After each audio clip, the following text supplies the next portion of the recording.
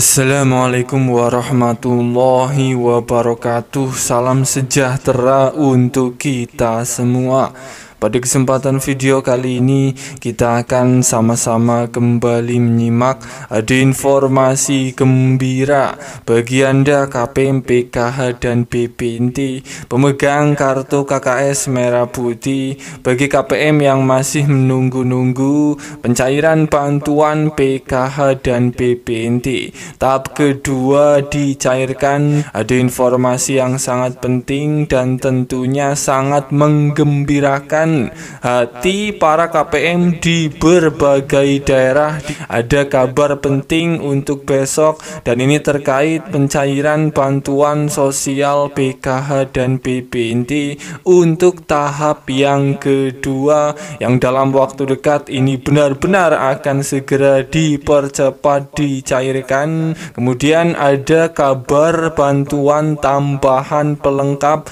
khusus bagi KPM, PKH dan BPNT binti yang bisa dirasakan manfaatnya dengan kategori ini harus mengetahuinya.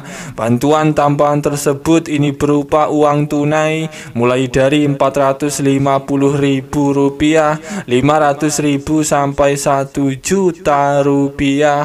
Tentunya kabar ini jadi para KPM tidak sabar akan kembali mendapatkan bantuan sosial tambahan uang tunai dan ini khusus bagi KPM yang mempunyai anak sekolah dan KPM, PKH dan BPNT yang telah ditetapkan sebagai penerima bantuan mitigasi resiko pangan senilai Rp600.000.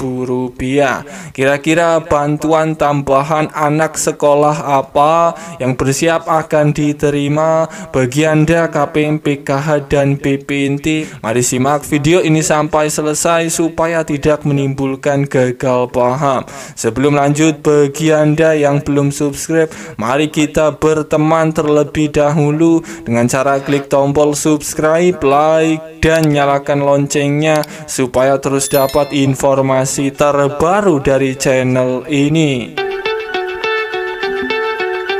Langsung saja informasi yang sangat menggembirakan bagi Anda KPM, PKH, dan BPNT dengan kategori KPM yang mempunyai anak sekolah, pemilik kartu Indonesia Pintar KIP, atau pemilik buku rekening tabungan simple. Ini bersiap akan mendapatkan bantuan tambahan berupa uang tunai, yakni berupa bantuan PIP program Indonesia Pintar. Berdasarkan informasi ter terbaru, pemerintah ini akan melanjutkan pencairan bantuan PIP di bulan Maret tahun 2024 ini.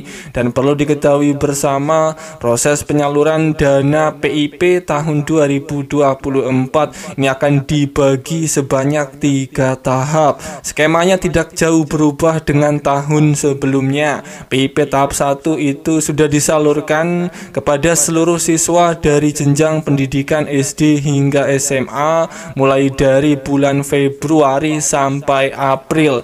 Dan ini artinya pencairan bantuan PIP tahap 1 oleh pemerintah. Kemudian untuk bantuan PIP tahap kedua penyalurannya ini akan disalurkan direncanakan pada bulan Mei sampai September. Pelajar penerima PIP tahap kedua yang akan datang merupakan peserta didik usulan Dinas Pendidikan, usulan pemangku kepentingan, serta peserta didik yang telah ditetapkan dalam surat keputusan SK penerima program PIP tersebut.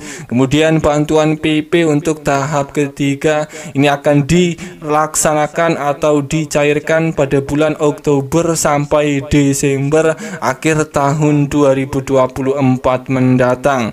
Bagi Anda KPM PKH dan BPNT dengan kategori kategori KPM yang mempunyai anak sekolah. Ini bersiap akan mendapatkan bantuan uang tunai mulai dari 450.000 sampai 1 juta rupiah di bulan Maret tahun 2024 ini. Karena bulan Maret ini masih bulan pencairan bantuan PP untuk tahap yang pertama. Satu bantuan ini merupakan bantuan PP bagi KPM yang mempunyai anak sekolah sekolah pemilik buku rekening tabungan simpel maupun pemilik kartu Indonesia Pintar yang anak sekolahnya sudah masuk SK nominasi pencairan di tahun 2024 dan sudah melakukan aktivasi rekening. Ini bersiap uang bantuan PP akan segera masuk di dalam kartu KIP maupun di dalam buku tabungan simpel anak sekolah Anda.